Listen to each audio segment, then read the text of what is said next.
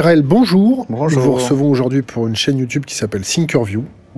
Nous vous recevons en tant que porte-parole de la chaîne euh, Spoutnik France, média russe. Qu'est-ce qui vous a amené à travailler euh, pour Spoutnik France? Alors, moi, j'ai été journaliste pendant euh, plus d'une dizaine d'années. Euh, J'avais arrêté au profit du, du documentaire. Journaliste pour qui et où? Euh, j'ai bossé un peu pour tout le monde. J'ai bossé euh, pas mal pour La Croix, euh, pour Marianne, Europe 1. J'étais plusieurs années à Europe 1. Le Nouvel Ops peut-être Le Nouvel Ops un peu. Alors, le Nouvel Ops très peu, puisque ma mère y avait travaillé et je souhaitais pas travailler là où avait travaillé ma mère. D'ailleurs, dans l'ensemble, tout ce que j'ai fait, c'était plutôt sous pseudo, avec un autre nom que celui de ma mère. pour pas- Pourquoi un pseudo? Bah, C'est pas un pseudo, en fait, c'est, je porte le nom de ma mère, euh, je l'ai fait avec le, le nom de mon père, pour pas, euh, pour pas trop jouer les fils d'eux. Voilà. Fils de qui? Fils de Catherine Herel, qui, était, euh, qui, a, fait l'IB et l'OPS essentiellement, plutôt sur des problématiques euh, nationales. Moi, j'étais intéressé par les problématiques internationales. Euh, ça changerait en fait qu'on a vite fait, on fait vite le, le procès d'être à certains postes parce qu'on est euh, pistonné par euh, un aîné.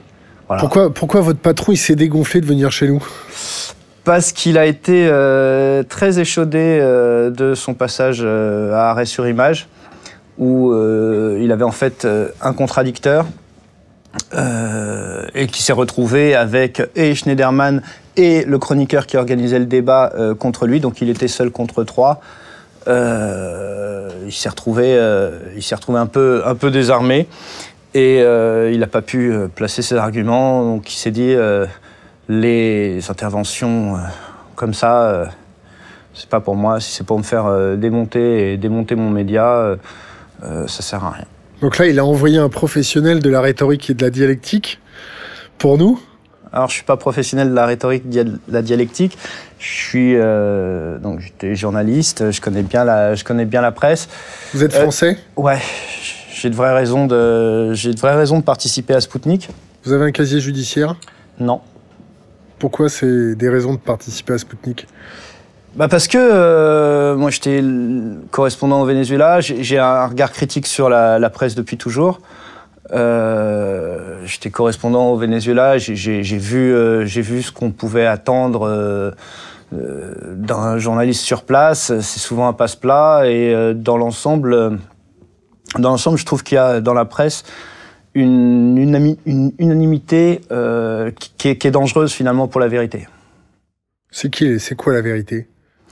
À la vérité, en général, se situe en marge de ce qui est écrit dans la presse.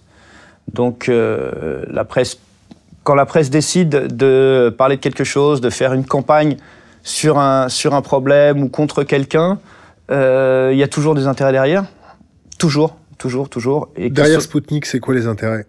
Bah, derrière Spoutnik, c'est euh, il y, a, y a- y a un double un double intérêt, je dirais. C'est euh, d'une part euh, faire entendre le point de vue, euh, je dirais. le- Dans un premier temps, je dirais le point de vue de la Russie, parce que euh, la Russie est présentée partout comme le mal, l'ennemi à abattre, alors que euh, bah, alors que c'est un membre permanent du Conseil de sécurité. C'est quelqu'un avec qui euh, les statuts de l'ONU euh, prévoyaient de composer.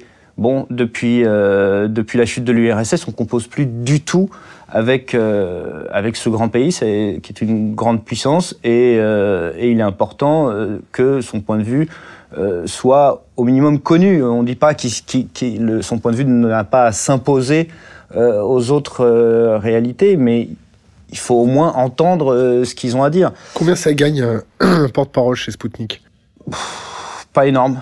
Enfin, quoi, pas énorme. Ça gagne mieux, ça gagne. Je pense que, en tout cas, pour un journaliste débutant à Spoutnik, je pense que ça gagne. les conditions sont meilleures. un- un journaliste débutant chez Spoutnik, il est à combien Et un porte-parole, il est à combien?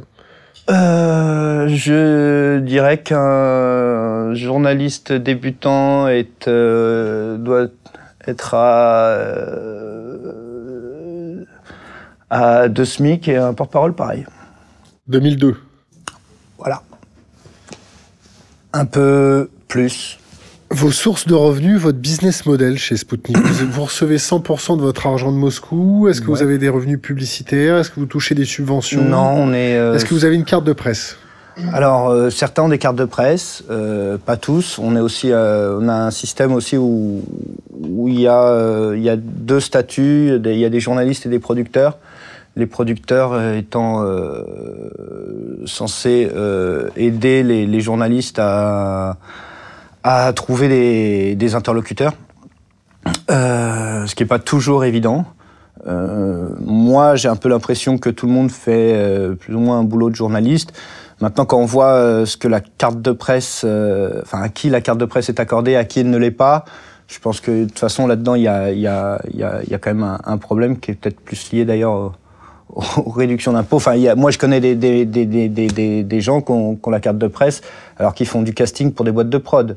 Euh, il y a d'autres gens euh, qui font un boulot formidable de, de journalistes, euh, qui n'ont pas les 50% de revenus avec des fiches de paye écrite, journaliste, émanant de, d'organes de, presse reconnus par euh, la commission, euh, qui méritent largement la carte de presse et qui ne l'ont pas.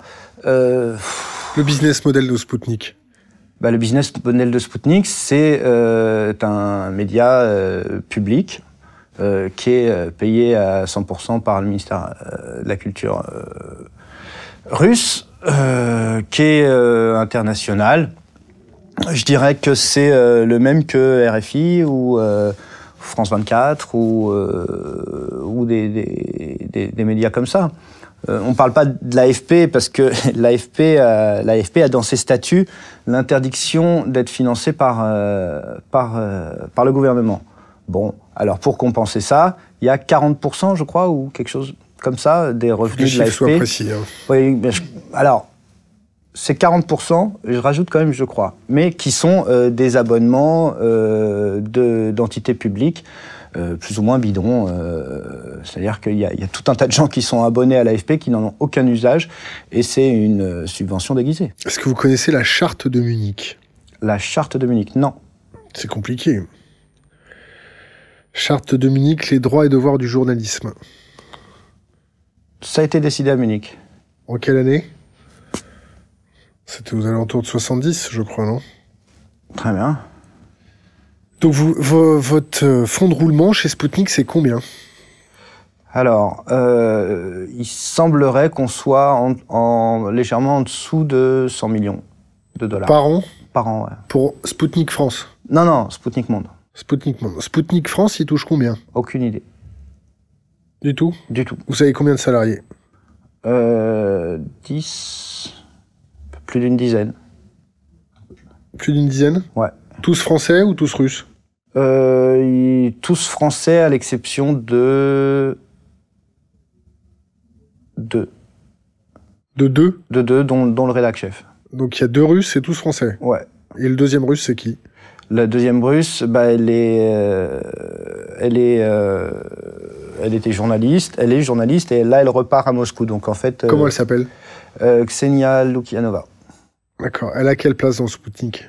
Elle était journaliste au même titre que les autres. Maintenant, elle va, elle va, plus, se, elle va plus se concentrer sur le, site internet. Qu'est-ce que vous pouvez répondre aux journalistes français qui vous jettent l'opprobre en. Pardon, j'ai un truc qui siffle. Pardon. Qu'est-ce que vous pouvez répondre aux journalistes qui répondent euh, ou qui vous jettent l'opprobre en vous disant que vous êtes euh, la voix du FSB, Mhm. la voix de la propagande russe, mhm. Et que vous êtes vecteur de fake news. Alors, on va les prendre un par un. Euh, alors, d'abord, être la voix de quelqu'un. Est-ce qu'on est la voix de celui qui nous finance? Euh, Est-ce qu'on est la voix euh, de Dassault Est-ce qu'on est la voix de Bouygues? Est-ce qu'on est la voix de Free?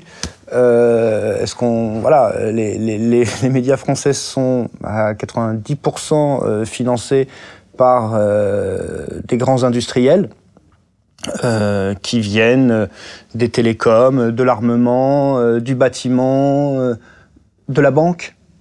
Qu'ont à voir ces gens-là avec la presse, si ce n'est le désir de la contrôler Ça, c'est une première chose. Donc, je leur dirais de regarder du côté de leur financement à eux et du travail qu'ils font eux-mêmes sur les malversations éventuelles de ces grandes sociétés.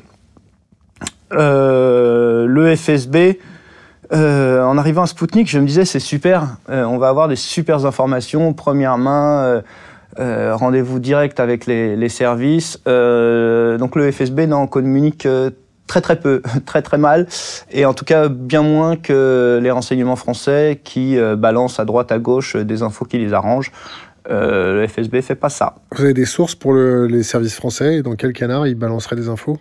Euh, bah, dans, dans, bah, dans, tous les canards, hein, quand certains, enfin, Le Monde, Le Canard, Enchaîné, ils tous disent selon des sources de renseignement, selon des sources proches du renseignement, selon voilà, ça c'est pas. Euh, Donc le FSB fait pas trop fuiter de choses chez vous, Non, ça? rien du tout, rien du tout.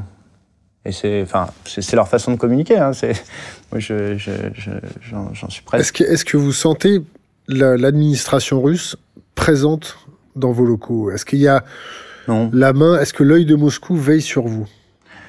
Non. Euh, Parce que vous êtes totalement indépendant. Si vous voulez traiter un sujet sur Poutine, Vladimir Poutine, ou sur la corruption qui peut y avoir en Russie, ou sur l'état des prisons, ou sur des choses comme ça. Moi, je pense qu'il se passe un peu. Alors, l'état des prisons. Euh, je rebondis là-dessus parce que euh, l'état des prisons en France est déplorable, c'est un des pires au monde. Oh. Donc on a... Il faut jamais, il faut jamais se comparer au dernier de la classe. Je suis d'accord. Il faut jamais se comparer au dernier de la classe, et en l'occurrence, la France est un des derniers de la classe.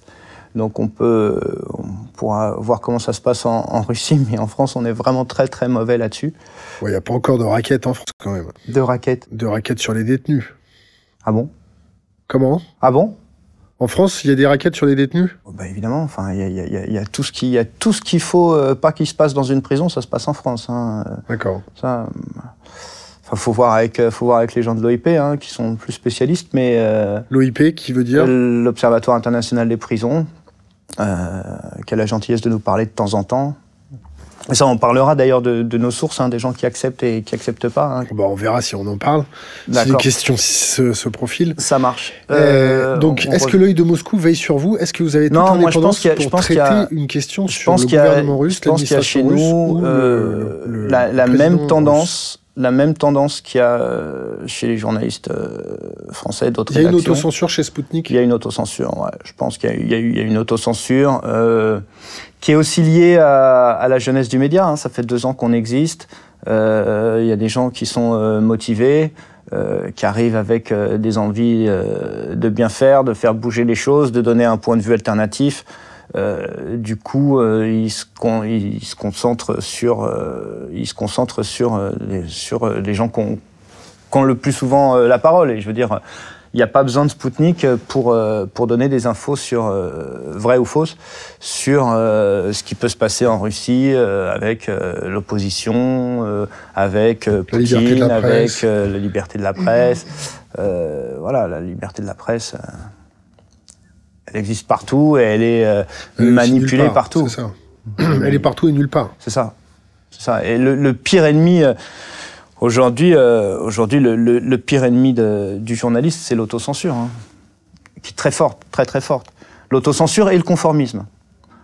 je veux dire. Alors la devise de Spoutnik, c'est c'est quoi? C'est euh, telling the untold. Donc, euh, on dévoile ce que les autres, euh, ce dont les autres ne parlent pas. Vous avez dévoilé, quoi par rapport aux autres? Bah, déjà, les autres?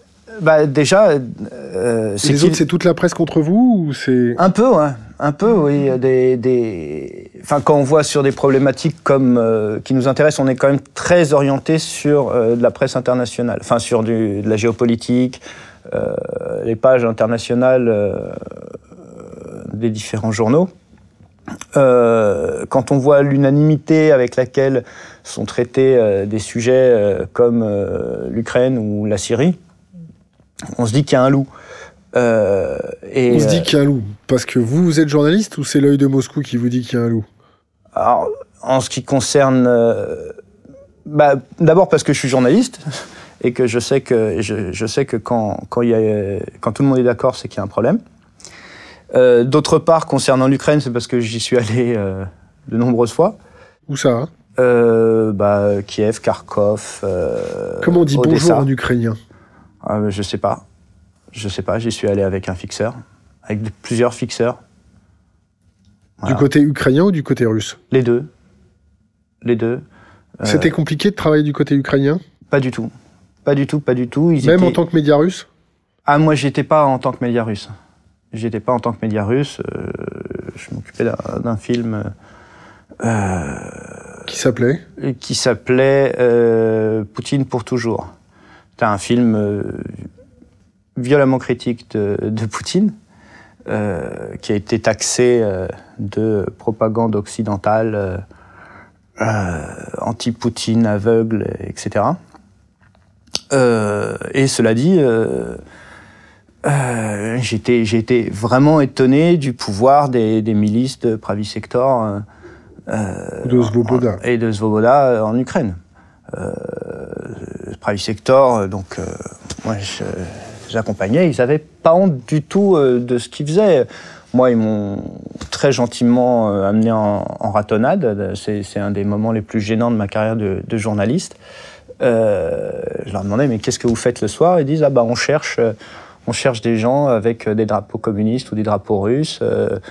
on, fait des, on fait des rondes. Alors je dis, emmenez-moi en ronde. les mecs, il me faut monter dans leur voiture avec la caméra. Et bon, bah, finalement, ils n'ont pas trouvé de communistes, donc ils sont allés euh, se rabattre euh, sur les squats euh, des clandestins d'Asie centrale. ils arrivent et ils cassent les bouteilles et ils, contrôlent les identités. Moi, en tant que journaliste, c'est la première fois que, que je me fais gerber un peu. Parce que j'ai rien fait, mais en même temps, voilà, j'avais les, je les avais la main dans le sac, mais ils s'en foutent. Ils s'en foutent, ils sont, ils sont contents de ce qu'ils font. Ils sont contents de ce qu'ils font et tout le monde sait ce qu'ils font. Tout le monde sait ce qu'ils font. Quand, quand, Paul Morera a sorti son film hyper soft sur euh, le réel pouvoir euh, de, de l'extrême droite en, en, Ukraine et, et, de, et, de, et, de, ces gens qui ont, qui ont Zoboda, qui a, qui a eu des ministères. Euh, Est-ce que c'est pour ça que Sputnik vous a engagé? Euh, Je crois, ouais. Je crois, enfin, parce que j'avais un tropisme sur, sur la Russie en ce moment. Euh, j'en ai eu d'autres. et parce que, et parce que j'étais journaliste et parce que j'avais un discours. Parce que j'avais un discours sur le discours de la presse. je veux dire, comme Moréa a sorti son, son, documentaire sur l'Ukraine, il y a toute la presse qui lui est tombée dessus. Et je sais plus combien, 30 ou 50 correspondants, correspondants qui avaient bossé sur l'Ukraine, qui, qui lui ont fait une lettre ouverte insultante euh, pour dire qu'il avait rien compris à l'Ukraine et qu'il euh, avait manipulé l'information alors qu'il n'avait fait que relater ce qu'il avait vu et il n'avait pas vu grand-chose par rapport à ce qui peut se passer. Mais d'autres ont vu exactement l'inverse. D'autres ont vu que Pravi Sector n'exerce pas le rôle de police en Ukraine? Ça, c'est facile de le voir. Voilà. Bah, il y a des gens qui l'ont vu et qui l'ont pas dit. Lesquels? Tous les autres, euh, comment ils s'appellent oh, tu veux des noms Ouais, bah ouais. Euh, comment il s'appelle euh, bah, j'ai oublié. Piotr, quelque chose, j'ai oublié. En tout cas, le, mec, euh, le mec du monde qui maintenant est à Jérusalem. Euh, voilà, qui a eu sa promotion après avoir fait son boulot euh, sur l'Ukraine. Il a fait ça. Est-ce que vous avez déjà traité des sujets contre Poutine chez Sputnik? Il y en a beaucoup à ce point-là? Directement, directement, je crois pas. Je crois que ça va, je crois que ça va devenir possible. Ça va devenir possible. Ça, pour l'instant, pour l'instant. Euh, il y en a peut-être pas. Ouais, bah si, bien sûr qu'il y en a, il y en a. Bien sûr qu'il y en a, bien sûr qu'il y en a, mais tant que, je veux dire, tant que la, la, la, les, les, médias focalisent sur euh, une opposition euh, qui, tout, tous des gens qui parlent de Russie euh, sont des gens issus en France, hein, sont des gens euh, issus ou soutiens euh, d'une opposition qui représente 4 à 5% euh, de la de l'électorat russe. trois qualités et trois défauts de la Russie. Trois qualités et trois défauts de la Russie. Alors, trois. Je vais commencer par les défauts. ils sont euh, entiers dans le sens où ils chercheront ils chercheront pas euh, la, nuance forcément. Euh, un autre défaut, un autre défaut, là, il ne croit pas à, à la, démocratie occidentale comme euh, modèle euh, universel applicable euh, partout.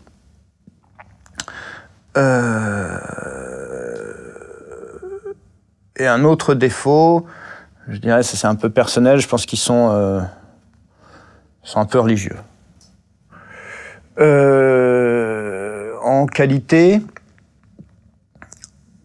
en qualité, ils se battent pour une, euh, une cause juste, qui est, euh, le, le, le, pluralisme, à la fois de l'information, de l'exercice du pouvoir et, euh, et, euh, et, du partage des, des, des richesses et, et, des zones d'influence. En autre qualité, euh, ils n'ont rien dit quand ils se sont fait piquer la victoire de la Seconde Guerre mondiale. Parce qu'ils l'ont dit, le problème c'est qu'ils ont communiqué beaucoup à l'intérieur, mais à l'extérieur, on a fini par être convaincu que c'était les Américains qui avaient gagné la Seconde Guerre mondiale. depuis combien de temps vous travaillez chez eux? Euh, Six mois. Vous pensez que ça va durer? Je sais pas. Vous avez un CDD ou un CDI euh, Un CDD. Votre salaire, il est versé en France ou en Russie? En France. En France. Euh mais euh, oui, non, mais cette histoire de Seconde Guerre mondiale, c'est marrant parce que. Euh, Ils vous ont bombardé porte-parole il y a combien de temps? Euh, Quand je suis arrivé. Il y a combien de temps? Six mois? Il y a six mois. Ouais. ouais. la, la, la, Seconde Guerre mondiale, ça t'intéresse pas? Oh, on connaît bien le sujet. D'accord. Bon, bah, tant pis. Bon, maintenant l'avenir de Spoutnik. Alors l'avenir de Spoutnik. Moi, ça, ça m'intéresse vachement parce que euh, bon, on nous aime pas, on a fait notre petit effet. Euh, ça y est, là, on commence à s'intéresser à nous, on commence à nous scruter. Euh, je pense qu'il faut qu'on soit plus nombreux, qu'il faut qu'on recrute, qu'on étende notre réseau radio à des zones francophones qu'on n'avait pas prévues. On a une grosse audience. en Afrique? On a une grosse audience en Afrique du Nord et en Afrique subsaharienne. Euh, je pense que c'est des choses qu'on peut, qu'on peut développer parce que euh, hors de France, dans la, en zone francophone, les, les gens n'ont pas du tout, du tout euh, le même point de vue. Hein. On, va au Maroc, euh, le problème de la Syrie, euh, il est traité mais complètement différemment. Ils en ont, voilà, ils veulent pas des djihadistes, ils considèrent l'opposition comme djihadiste. Voilà, c'est clair et net pour eux. Donc euh, on a, euh, donc on va, je voudrais qu'on se développe euh, par là-bas. Je voudrais aussi qu'on ait un peu plus de temps pour se libérer du flux de l'info au profit de, au profit, au profit d'enquêtes. Vous avez du budget pour faire des enquêtes? Bah Éventuellement, on pourrait avoir du budget. Combien, combien touche Sputnik France déjà par an? Je sais pas. D'accord. Euh, je sais pas, mais le budget, le budget qu'il y a sur toutes les antennes de Spoutnik euh, me semble accessible. Accessible. Enfin, en tout cas, je pense qu'on aurait les moyens. On aurait les moyens vos locaux se trouvent où? Dans le 17e. Quand, euh, j'ai cru lire euh, un papier contre vous, comme quoi c'était très difficile de vous joindre. on, a mis, on a mis 7 minutes à vous joindre. Bon, mais des, non mais, on voulait quand même le rédacteur en chef, mais bon. Ouais. Bon, enfin, vous l'avez joint. Et euh, vous avez mis 7 minutes à nous joindre, mais en même temps, on va pas leur jeter la pierre. Je veux dire, c'est des. 19 ans, là. Ils sont 19 ans, les gens qui ont fait ah, c'est le papier, ouais, c'est ça. je pense que c'est à ce papier-là. Ouais, c'était des gamins qui. voilà, ils ont, ils ont, ils ont. Qu'est-ce que vous pensez de Russia Today? Est-ce que euh, c'est le grand frère de Spoutnik? Est-ce que c'est le dans dans dans le même bah, bois? C'est une télé. Euh, ils remplissent. nous, on est une agence internationale multimédia. C'est-à-dire qu'on est très web, euh, un peu vidéo et, et radio. euh, donc la radio, la radio nous prend beaucoup de temps. Votre audience, c'est quoi? Euh, Notre audience, c'est 25-35. Euh, Les chiffres? La proportion mm. On doit être à, la, à 60... on doit être à 70% en dessous de 35 ans. 25, 35, 35, 45. Ouais, c'est ça, ouais. Euh, Hommes-femmes, beaucoup, beaucoup de femmes Vous aussi. utilisez des utilitaires pour euh, sonder un peu votre communauté? Bah pas assez. Moi, j'ai, enfin, on est, on, fait euh, nos analyses euh, Google Analytics. Là, j'ai, commandé un rapport, mais bon, euh, il faut, faut l'attendre. Je suis assez, je suis assez fasciné par tout ça parce que c'est, assez nouveau, c'est, intéressant. C'est plutôt des gens éduqués. C'est aussi des gens qui lisent le reste de la presse et qui viennent, et qui viennent sur Spoutnik chercher et lire des infos qu'ils n'ont pas ou, ou une autre vision des mêmes questions. Euh, ce que je trouve assez intéressant comme démarche. Et je regrette que en fait, les, les journalistes fassent pas la même. Quoi. Quand vous vous retrouvez à traiter des sujets un peu complexes, Mm. compliqués et arides, Mm. votre rédaction vous laisse la plus grande latitude ou pas? Ouais. Ouais, en même temps, on prend pas vraiment de risques. On, on fait comme tout le monde. hein. On, cherche des, on cherche des spécialistes. On cherche des spécialistes, des, des Comment ça se passe, les, les- les salles de rédaction chez Spoutnik? On, des- on se réunit le matin, euh, on dit euh, tel et tel sujet, donc on a un nombre limité de, de journalistes, donc on dit, on décide de trois sujets en général, euh, deux ou trois commentaires, ce qu'on appelle commentaires, qui sont des, des- des interviews, et euh, cinq ou six brèves. Euh, en fait, ce qui sert, ce qui, ce qui sert de, ce qui axe un peu notre notre travail, c'est euh, c'est l'émission radio. Donc euh, Vous avez qui en émission radio? Vous avez qui? Combien d'émissions radio? Combien de... Bah, on a tous les jours, tous les jours de 17 à 19 heures sur la fréquence de Radio Aligre pour l'instant. Bientôt, donc en Ile-de-France seulement, bientôt dans d'autres régions de France, et peut-être à l'étranger plus tard. Donc c'est euh, c'est une émission de deux heures, deux heures de contenu euh, exclusif, euh, qui est euh, qui est composé pour une demi-heure d'un show de soit Rachel Martin, soit Jacques Sapir, plus une heure et demie, c'est-à-dire trois journaux en fait, euh, de, qui sont qui sont présentés par qui sont, qui sont le travail de la rédaction et qui sont euh, présentés par Édouard Chadneau et euh, Marie Clarville. Comment vous êtes jugé par vos confrères français d'autres euh, d'autres journaux ou d'autres télés? Bah, je pense que pour l'instant, pour l'instant, on est, on est, on est, on est jugé, on est jugé comme comme propagande, je pense. À juste titre ou pas? Non, euh, ils devraient nous juger en tant que point de vue alternatif. Euh, voilà, il y a, il il d'autres points de vue qui existent. euh, Il n'y a pas une vérité. Euh, je pense que ça vaut le coup de se renseigner sur euh, sur les points de vue des autres plutôt que de croire que parce qu'on travaille au monde, on incarne la vérité. Parce que c'est faux. C'est faux. Le monde ment comme tout le monde. Pourquoi? Pourquoi le monde ment? Pourquoi le monde ment? Parce que. euh, Pourquoi vous d'abord- mentez moins que le monde? Parce que, parce que Le Monde, c'est la référence absolue de la presse française.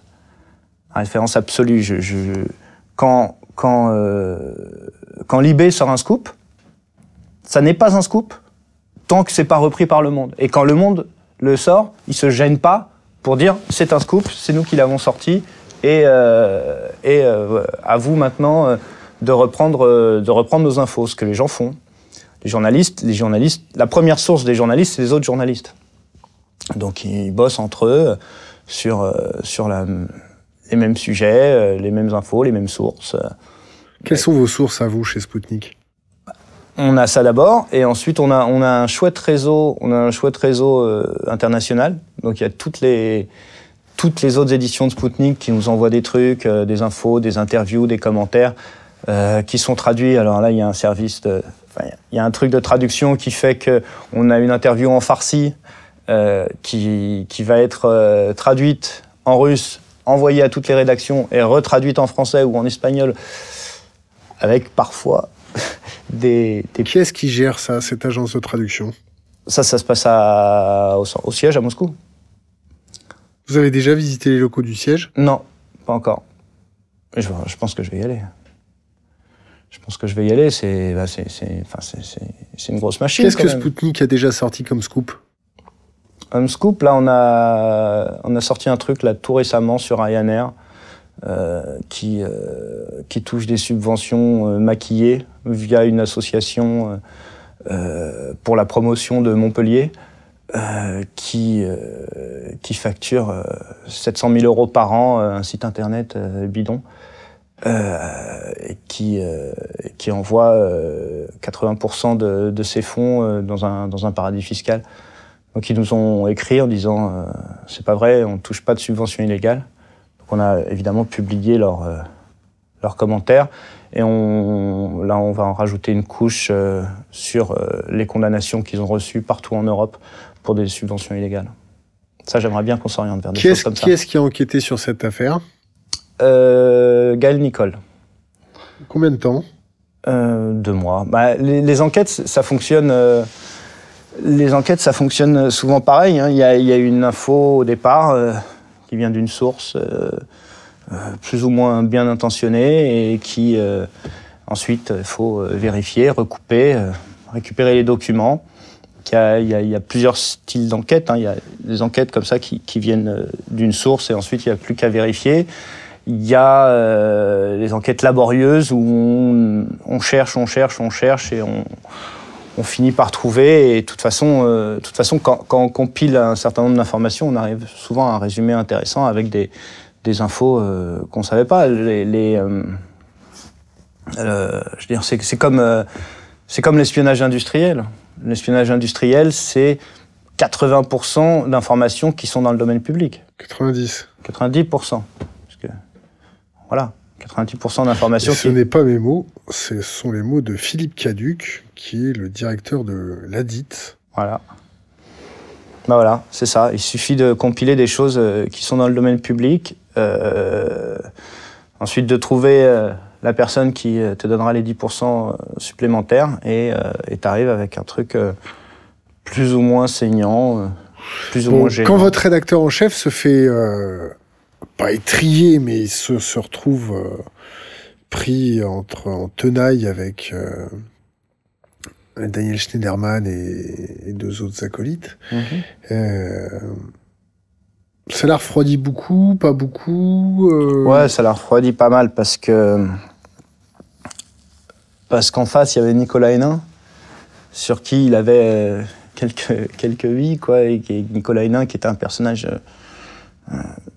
très respecté autant que très très très bizarre. Euh, ouais voilà, euh, très décrié mais pas trop en public. Euh, et voilà, et, il intervient désormais comme un des grands spécialistes de la Russie après avoir été euh, spécialiste euh, des djihadistes. il parle ni le russe ni l'arabe, c'est-à-dire qu'il n'a d'information, il n'a jamais d'information en version originale. Vous parlez russe? Non, ni l'arabe. Kouloutamam Comment Kullutamam. Non, je parle pas. Euh, tout va bien. Non, voilà. Et donc, euh, on le verra plus, votre rédac chef Parce que nous, on l'a rencontré. Ouais. On est très déçus, on est très déçus. Euh, bah ouais, mais il était, très content de vous, il était très content de vous voir. Il a, il a, il a, il a, il a vraiment hésité. Et puis, en plus, bah donc il était vachement content de, des discussions que vous avez pu avoir. Euh, en même temps, tu n'as pas caché que, que, vous étiez méchant et vous allez être dur. Donc il a dit, déjà les autres, euh, ils ont dit, t'inquiète pas, on va être équilibré. Ah non, euh, ils l'ont déboîté. Autant vous, vous annoncez la couleur, vous allez être dur. il s'est dit. bah, on représente notre communauté. C'est très bien. Notre communauté a des questions. Notre communauté nous dit est-ce que Russia Today et Sputnik sont euh, l'œil de Moscou en France pour euh, nous sortir de la propagande? Pour vous sortir de la propagande ou pour vous y mettre? Euh, C'est pareil. Nous sortir, nous, servir de la propagande russe. Non, pour vous en sortir. Non, pour, vous en sortir, parce que vous êtes dans la propagande. Vous êtes dans la propagande anglo-saxonne et Russia Today que je ne connais pas hein, par ailleurs. Donc c'est une technique de contre-propagande russe, Sputnik et France 24 Pas France, pardon.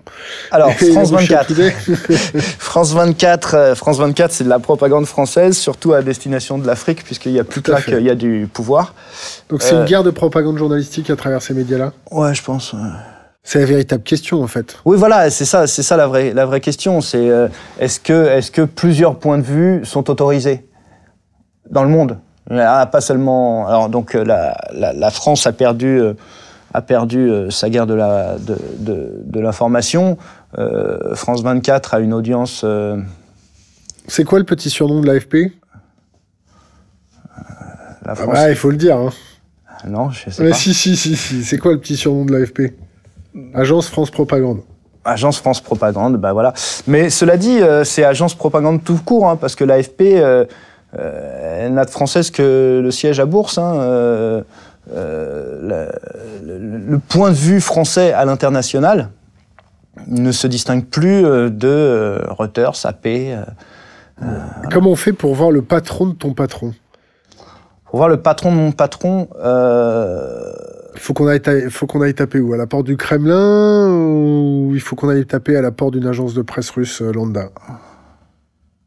Ça, c'est vraiment la question qui remonte à chaque fois. Ouais. Qui est le patron de mon patron Qui est derrière Spoutnik? C'est-à-dire que le ministre. Bah, derrière Spoutnik, il y a une volonté. Euh, non, mais il y a une volonté euh, étatique. claire. Ouais, il y a une volonté étatique de, de, de de faire parler le point de vue russe sur les médias. Voilà, c'est c'est du c'est du soft power. C'est assumé? Ouais. Oui, oui, c'est assumé. Est-ce que c'est plus assumé C'est assumé d'autant que, d'autant que, d'autant que la, la, presse est, euh, est sans limite euh, quand il s'agit de la Russie. Sans limite aucune. C'est quoi sans limite? Sans limite, c'est-à-dire que euh, ça va de, de la simple de la simple calomnie au russe bashing et au Poutine bashing. quoi alors Donc dès que dès que dès, dès qu'on ajoute russe à la fin d'un mot, ça fait, euh, ça fait euh, FSB, euh, dictature, sanglant, monstrueux, tout ce qu'on veut. voilà. C'est un peu comme dans South Park avec le Canada Ouais, oui, c'est ça. C'est blame Canada, blame Russia. C'est ça, bah ouais. Russian did it. Il y a le hashtag, hashtag Russian did it. Voilà, Russian did it. Bah, Ça n'a pas l'air de trop adhérer sur Internet, ça. Russian did it? Ouais. Ça fait marrer tout le monde. ouais, ça a fait marrer tout le monde. Ouais. je pense que c'est parti d'un vrai truc, mais que, mais que ça a viré à la blague. Euh, ça a viré à la blague. Mais, mais c'est une blague qui, est représentative de, de, de, de, ce qu'on dit dans, dans, la presse. Hein. C'est les Russes. Voilà. Il y a un bombardement quelque part, c'est les Russes. Alors que. Est-ce qu'ils sont tout blonds, les Russes? Bah non. Je pense pas. Aucun, aucune, grande puissance, aucune grande puissance n'est toute blanche. Mais comment on fait pour savoir s'ils sont tout blonds ou ils sont tout noirs? À quel sein peut-on Est-ce que l'opinion publique peut se Non, mais est-ce que quelqu'un peut croire que n'importe quelle grande puissance puisse être toute blanche ou toute noire? Moi, moi, moi, je crois pas. Moi, moi ah, je, je, lis la presse depuis suffisamment longtemps pour savoir que euh, chacun défend ses intérêts, où qu'il soit.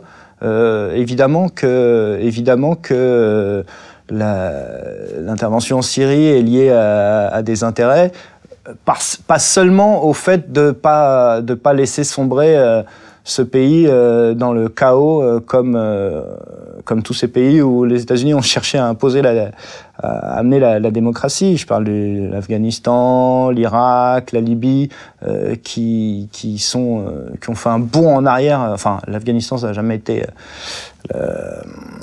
sommet de la, modernité, mais la Libye, euh, la Libye et l'Irak euh, avaient des régimes euh, dictatoriaux. Mais d'une part, les populations étaient bien plus en sécurité qu'elles ne le sont aujourd'hui. L'État fonctionnait. voilà, aujourd'hui, aujourd'hui, ces deux pays, je, je, connais bien l'Irak, c'est ces deux pays qui, qui, qui, qui, vivent mal, quoi, qui vivent mal. Donc, si c'était pour faire péter la Syrie de la même manière, je crois pas que c'était l'intérêt des Syriens.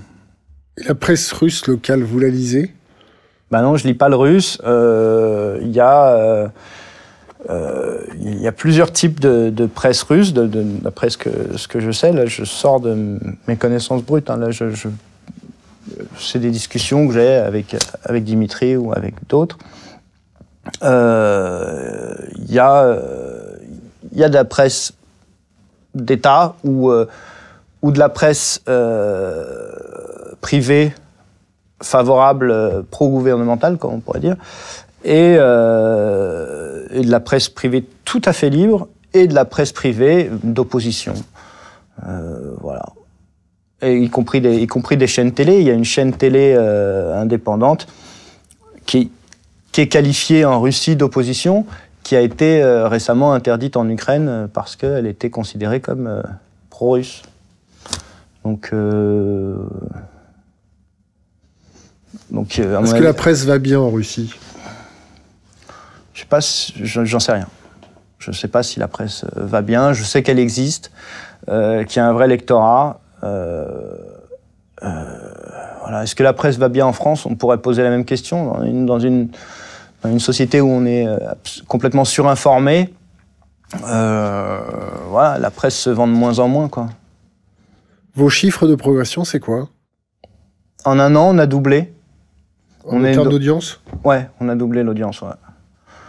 On a doublé l'audience, on est euh, autour de pas loin de 200 000 vues par jour. Euh, et, on, augmente. On a, vraiment une grosse audience à, gagner, autant des, gens qui seront, euh, qui seront convaincus que d'autres gens qui, se servent de nous comme, presse de complément. Est-ce que les services de renseignement français vous ont à l'œil? Euh, Non, enfin, qu'est-ce que. Je sais pas. Je sais pas, j'imagine, parce que quand on regarde quand on regarde euh, ce fameux scandale sur les hackers russes et le, piratage des élections américaines, euh, quand on lit le rapport qui est finalement publié, euh, niveau hacking, il n'y a rien. Grosso modo, le piratage, c'est Russia Today et Sputnik qui, qui ont mené une campagne d'information. C'est de l'information war Information, ouais, bah je sais pas, moi je trouve que c'est plus un combat, euh, un combat de journaliste qu'un combat euh, d'État à État. Euh, Est-ce que c'est du social engineering? d'État à État Du social engineering. Tu peux me rappeler la définition du social engineering? De l'ingénierie sociale, c'est-à-dire formater le point de vue de la plèbe à travers des médias ou des influenceurs. Ou des techniques comme l'astroturfing sur Internet. Je suis beaucoup moins au point que toi sur, ces, sur ce vocabulaire. Maintenant, euh, formater le point de vue des masses, euh, euh, non, nous en tout cas, on essaye plutôt de donner une grille de lecture. On sait qu'on sait que, on sait qu'on est pour l'instant une presse de complément. et qu'il est important que les lecteurs de Libé, de l'Obs, du Figaro, du Monde sachent que d'autres choses d'autres points de vue existent sur les mêmes problématiques et que euh, d'autres informations euh, qui méritent d'être connues euh, arrivent en même temps, sans qu'on en parle nécessairement, nécessairement dans la pluralité de l'information. La pluralité de l'information. Ouais. Quand on regarde les commentaires de vos articles sur les, réseaux sociaux, hmm. est-ce que vous faites de la modération? Un problème de la modération, c'est que c'est un vrai boulot et qu'on est un peu en sous-effectif. Donc vous en faites ou vous en faites pas? Il y, en a, il y en a un peu. À chaque fois, moi, je dis, c'est pas possible, on peut pas laisser ça. Qu'est-ce que vous pouvez pas laisser? Euh, les Des insultes. des insultes. Euh, Est-ce que vous pensez que votre public est principalement euh, constitué de gens à tendance d'extrême droite? Non, je pense qu'il y en a. Je pense qu'il y en a, mais c'est rigolo parce qu'on les voit souvent, euh, par exemple, sur les commentaires, s'affronter entre banlieue rebeu et, euh, extrême droite. on voit et, et, pas toujours en étant, pas toujours l'un contre l'autre, quoi. des fois, les deux contre un autre, et on voit un mec qui est clairement, qui est clairement soit algérien, soit marocain, soit euh, soit de banlieue, euh, avec euh, avec un autre qui est clairement ou qui porte un pseudo typique de genre Saint François d'Assise. Voilà, Saint François d'Assise ou typique typique fachosphère qui va. c'est quoi la fachosphère? Alors la fachosphère, c'est l'ensemble des des sites internet et des des mecs qui sont d'extrême droite qui sont euh, qui sont euh, qui sont mobilisés, qui, qui, montrent leur présence ou leur désaccord sur euh, sur des articles ou sur ou qui publient leurs propres articles ou c'est des, des, des c'est un, un réseau qu'il y a une gauchosphère à côté de ça? Ouais, il y a une gauchosphère. Je pense qu'elle est je pense qu'elle est moins active. J'ai l'impression qu'elle est moins active, mais elle existe aussi, forcément. Et elle est, elle est également présente sur notre site. Les deux, enfin, les deux se, se, se répondent.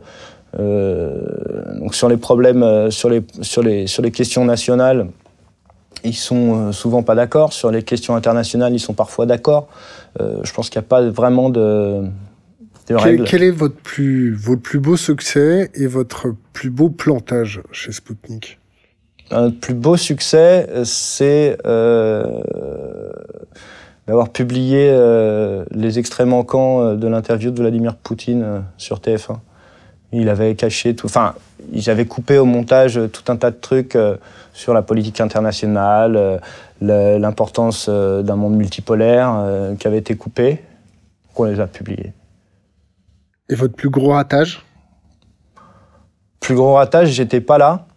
Euh, mais c'est euh, au tout début de Spoutnik. Genre, euh, Spoutnik a commencé en février et en mars, il y avait cet avion de la Lufthansa qui écrasé dans les Alpes avec le pilote qui, qui s'était enfermé dans la cabine et qui s'était suicidé en se jetant contre une montagne. Quoi.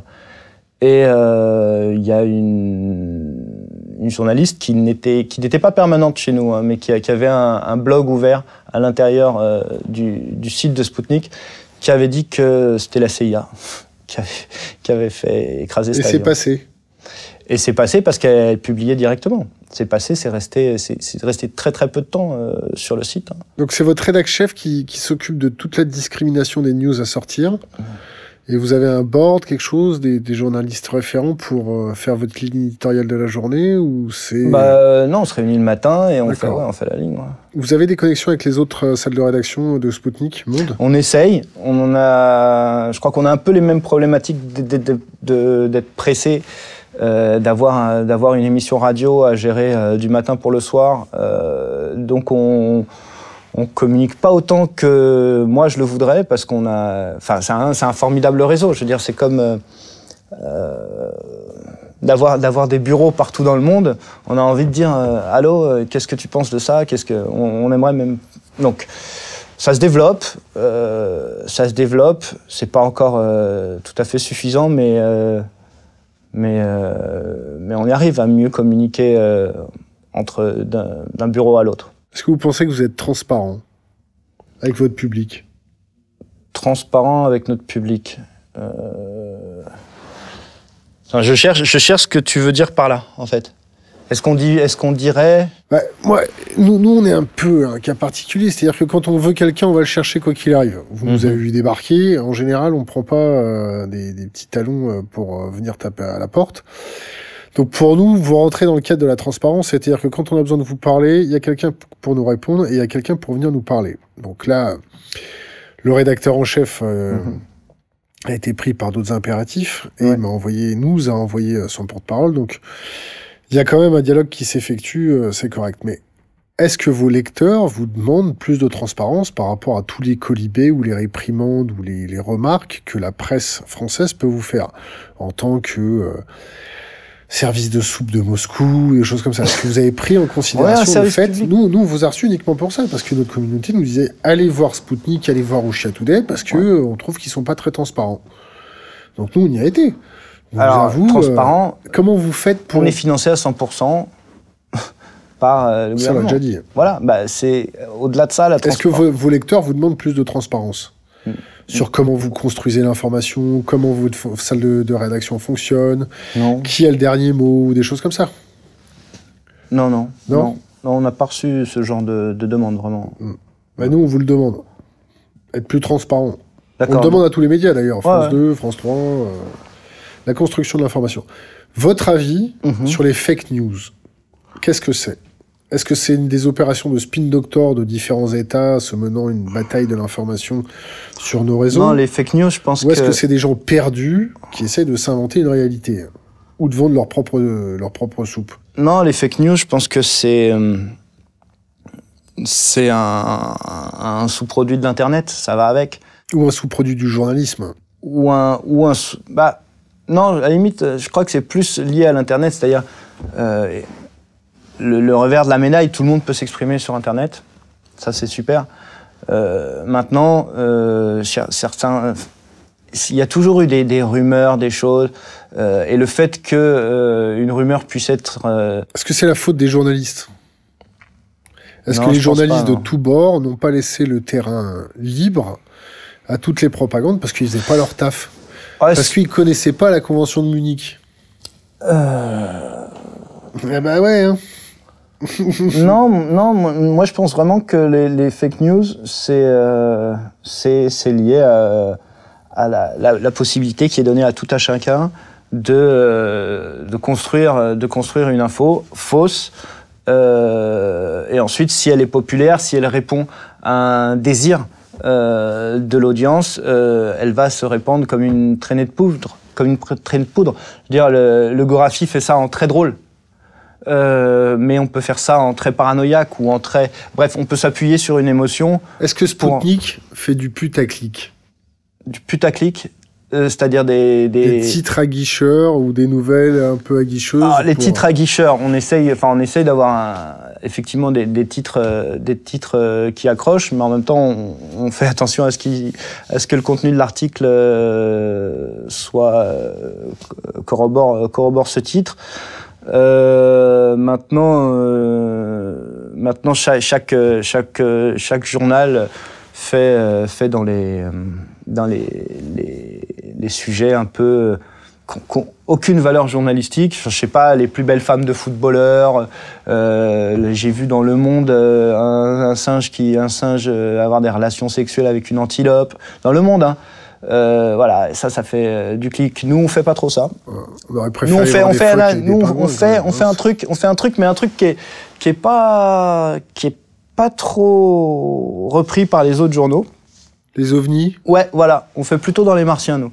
On fait plutôt dans les martiens. C'est un sujet défendable comme un autre. Hein. Voilà, c'est-à-dire que les gens, euh, les, nouvelles qu'on donne sont, euh, proviennent de, chercheurs. Il y, a tout un tas de gens euh, qui bossent, des astrophysiciens, machin. Ils bossent, ils bossent sur, ils cherchent des signaux extraterrestres. Et quand il faut une découverte, on en parle. Alors, de là à dire, de là à dire, enfin, de là à dire euh, qu'on fait du, putaclic parce que euh, on parle de la possibilité euh, d'une vie extraterrestre, je pense que d'un point de vue journalistique, c'est risqué de parler de la possibilité d'un d'une vie extraterrestre. Maintenant, d'un point de vue strictement, voilà, d'un point de vue strictement statistique, la possibilité qu'on soit les seuls sur la planète et tout, tout ça, c'est des choses qui se discutent, mais qui ne se discutent pas dans la presse euh, mainstream parce que euh, ça fait euh, dingue. Si d'une baguette, je vous, offre une baguette magique, ouais. vous pouviez changer toute la presse, vos trois premières mesures, ce serait quoi? Bon, alors, apprendre la convention de Munich pour tous les journalistes, je suis d'accord. Bon, ça, je la garde pour moi. D'accord. Bon, les trois premières. les trois premières, ce serait imposer des stages au, cœur des populations. Des stages Des, stages, ouais. Des stages, des stages pour déchiffrer l'information Non, non, non, non, des stages pour, euh, pour être un peu en, rapport, euh, en, rapport avec les, en rapport avec les gens, être plus proche des gens, être moins. Euh, sortir de, cette espèce de clash journalistique qui se comprend, qui s'entend et qui, qui se répète les uns les autres. voilà. Euh, non, mais c'est très bien d'avoir des, des, des, rapports euh, confraternels, euh, voire euh, corporatistes. que dalle. Mais, mais, mais, mais là, là, je pense que c'est aller un peu loin. Je pense que c'est aller un peu loin. Les journalistes s'écoutent trop, se font trop confiance. Ils se remettent pas assez en question. Vous connaissez l'expression d'Internet? Non. Les journalistes s'entresucent. Bah complètement. moi, quand j'étais au Venezuela, euh, une fois, je, voilà, déboulé, c'était, il y avait quoi? Il y avait, c'était, c'était sur, la libération de Bétancourt ou ce genre. Enfin, c'est même pas ou ce genre, c'était là-dessus. Et je vois débouler euh, les mecs, euh, un mec d'Europe 1, un mec d'RTL, qui me demande un fixeur. Donc je leur, donne un fixeur. Je dis, vous pas deux fixeurs? Non, non, on va partager le même fixeur. Ah d'accord. Et les mecs, ils bossaient ensemble. Ils faisaient les mêmes papiers au même moment avec les mêmes sources. Et ils sont deux radios concurrentes. Et je dis, ça gêne pas ça euh Ouais, non, bah, de toute façon, euh, ça, on pourra pas faire mieux. Ok, voilà. Ils bossent ensemble. Sans deuxième mesure. Euh, deuxième mesure. euh, deuxième mesure, faudrait, euh, faudrait une agence de presse euh, qui soit, euh, qui soit réellement indépendante. Donc à défaut, euh, à défaut, il faut des agences de presse alternatives. Mais euh, l'idéal, ce serait une agence de presse qui soit vraiment indépendante, qui soit euh, libre des euh, intérêts américains ou anglais ou français ou russes, et qui puisse donner une, une, vision, une vision indépendante du monde. Un vrai quatrième pouvoir. Ouais. Bon, et troisième mesure? Et troisième mesure,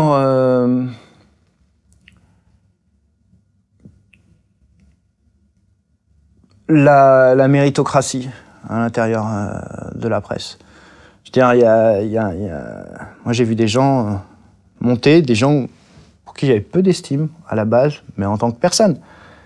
Et puis aussi parce que je les trouvais pas fines ni euh, cultivées, monter par par comment on dit ils étaient tellement conformistes tellement ils sortaient pas de la ligne qu'au fur et à mesure au fur et à mesure ils faisaient de- pas de conneries les autres qui étaient un peu moins conformistes au bout d'un moment ping ah là tu t'es planté mec t'as pas été sur la ligne ping et euh, plus ils étaient con- et les gens qui sont conformistes et qui le sont tout, tout le long de leur carrière ils ont moins de mal à faire carrière donc ils montent plus haut, plus vite et ils se re- on retrouve avec des gens. euh, du conformisme chez Spoutnik? Euh, non, non, parce que je pense qu'on a eu une euh, une rédaction qui est très très très variée. J'ai jamais vu autant de variété euh, au sein d'une rédaction. Euh, Il y a des gens qui sont euh, ça va de l'extrême gauche à l'extrême droite. Moi, c'est la première fois que je cohabite professionnellement avec des gens d'extrême droite. Il n'y a pas de l'extrême centre un peu, non? Si, si, il y a de l'extrême centre aussi, euh, du, enfin, d'extrême centre, de la, de la gauche, euh, de la gauche molle, euh, tu appelles-le comme tu veux. Euh, Il y a des, il y a de tout. Il y a vraiment de tout, et du coup, euh, chacun, euh, chacun pousse son, son, son pion, et, euh, et, et les- autres euh, parviennent à s'y intéresser. Est-ce que c'est problématique dans une carrière de journaliste d'avoir travaillé pour les Russes en France? Bah grave. Ah ouais? Ouais. C'est marqué. C'est-à-dire que moi, moi, moi, moi, moi j'ai un, un autre métier, donc je, je, je sais que je sais, je, je souhaite pas réintégrer, réintégrer une rédaction après ça, mais je sais que si je l'avais souhaité, euh, ça aurait été impossible. Enfin, dans, en l'état actuel des choses. C'est quoi votre autre métier? Euh, Je suis producteur de films, Quel type de film? Documentaire. D'accord. Votre maison de prod, c'est quoi? Hmm. Euh, les films grains de sable. Je fais autre. et Puis je-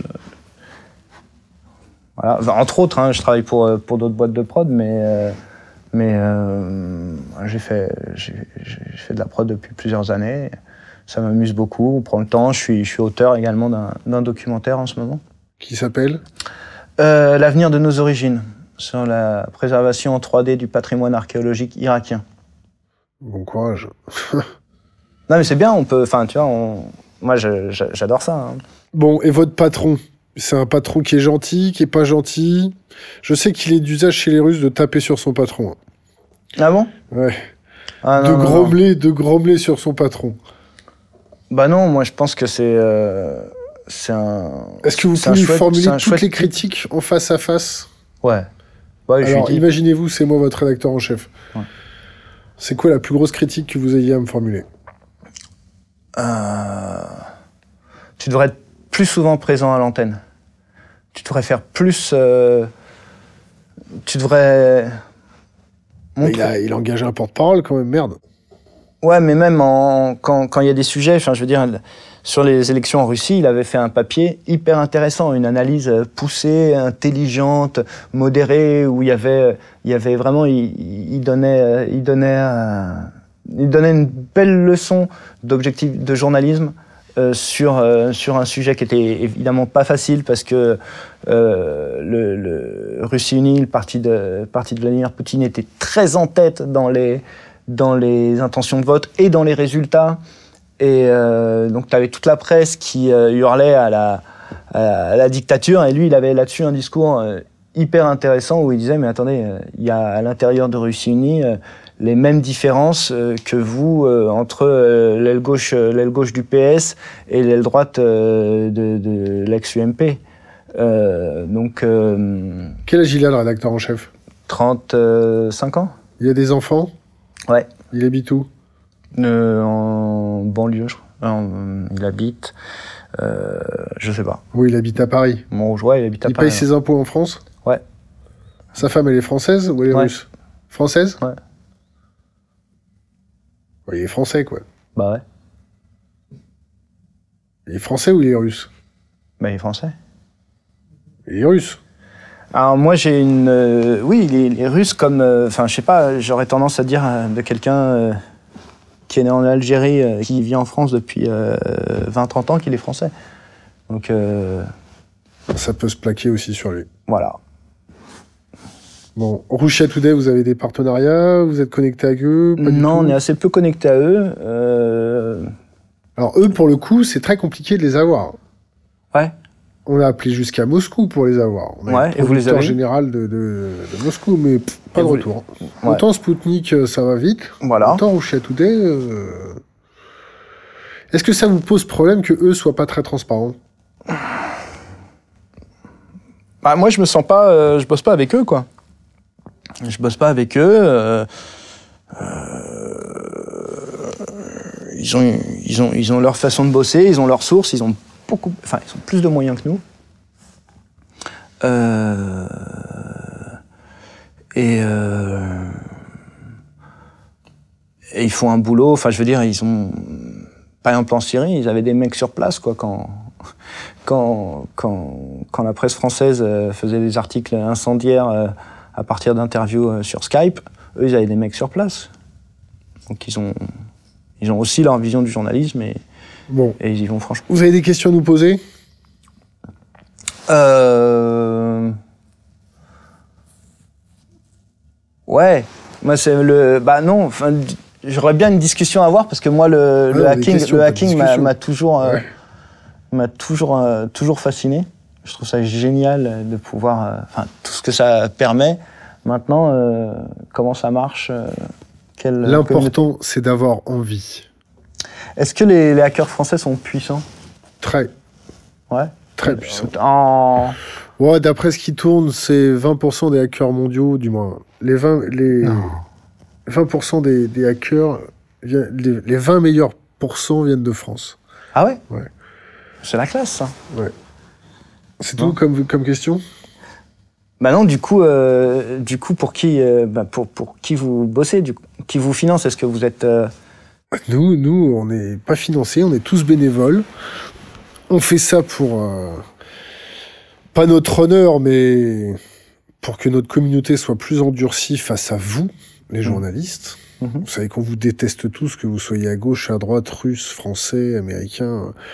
On a un regard qui est très très critique sur votre corporation. Vous feriez mieux? Ouais. Comment? Bah déjà, on vous vire tous. Ouais. On vous fait tous écrire 25 fois la charte de Munich. Ouais. Et ensuite, on vous fait passer votre bac. Ah d'accord. Pourquoi? Le bac? Pourquoi le quel Parce que quand on voit certains journalistes écrire des papiers, c'est encore pire que nous.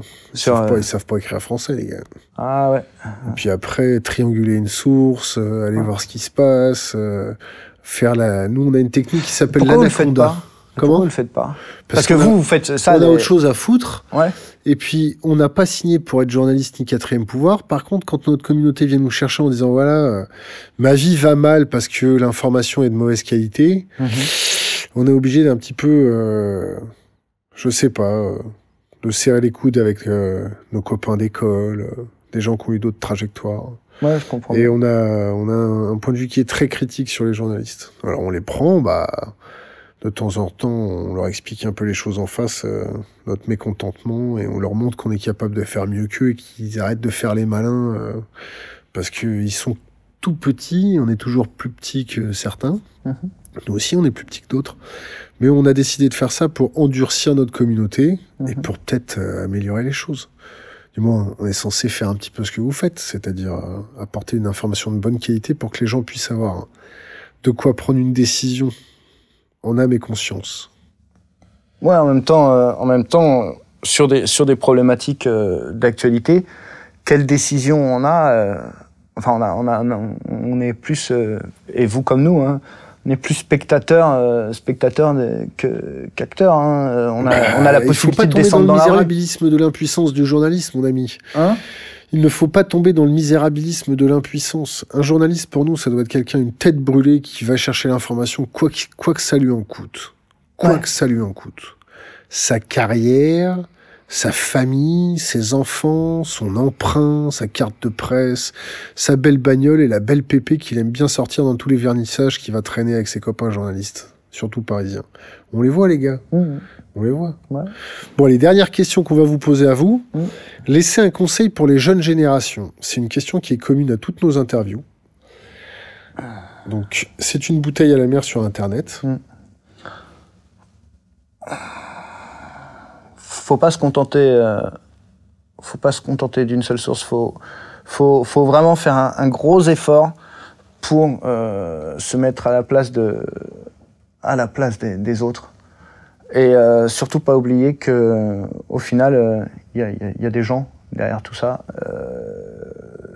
derrière, derrière ce qui se passe en Syrie, il y a des gens qui croient à la révolution, il y a des gens qui croient au djihad, il y a des gens qui croient en Bachar. Euh, et qu'il faut pas croire que que parce que nous on considère que Bachar ou Saddam Hussein ou machin sont des tyrans, il n'y a pas des gens ou Poutine il euh, n'y a pas des gens nombreux qui sont derrière eux et que c'est pas parce que euh, Poutine a une popularité euh, qui frôle les 80% qu'il y a 80% de Russes qui sont cons. Voilà. Yvon RL, merci. Merci à vous.